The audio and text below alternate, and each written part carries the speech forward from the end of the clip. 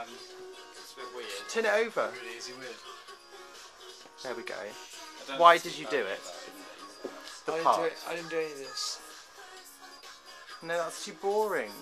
What? I didn't do any of it. What do you want me to I say? wrote. You did. You did. The, you did this part, the green one. Jonathan, you can I be wrote some interesting. Spice Girls lyrics because um, my friend Rupert here says that he likes the Spice Girls, and I like the Spice Girls too. There we go. And everyone in this room likes the Spice Girls, so That's we very put some true. Spice Girls lyrics. Yeah.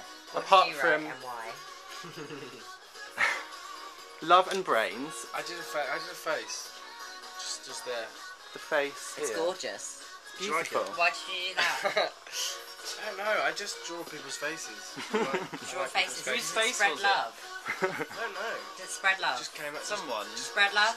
Yeah. It spreads, Spreads love. love, It spreads spreads love. love. Love, Amazing. love Rupert is- wants to and- spread love. And Daniel Lismore.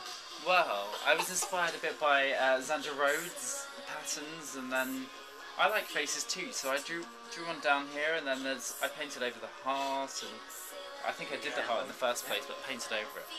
Um, Philip Salmon. and yeah, I just kind of, edited it, so the right colours were in there.